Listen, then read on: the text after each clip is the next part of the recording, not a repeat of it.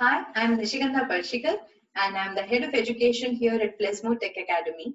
I'm very happy to welcome you and tell you that I will be your host for the five-day webinar series which we begin on Monday, 23rd of March. Over these course of five days, we will be covering a lot of interesting topics for students from standard 6 to 10th. Here's an overview of what the webinar series is all about. Over the course of five days, students will learn about the basics of creating with technology, which consists of learning about what computer programs are and what are the fundamental constructs of programming, learning about what app design and its basics are, and how sensors, actuators, and other programmable devices are brought into the picture and under the umbrella of programming.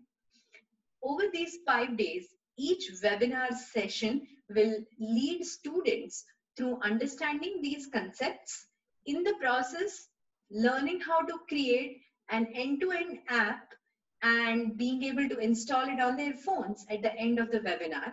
So students will learn about the concepts and see a demo of how it works in the one hour session and will receive a follow-on guide which will allow them to work at home and complete the activity.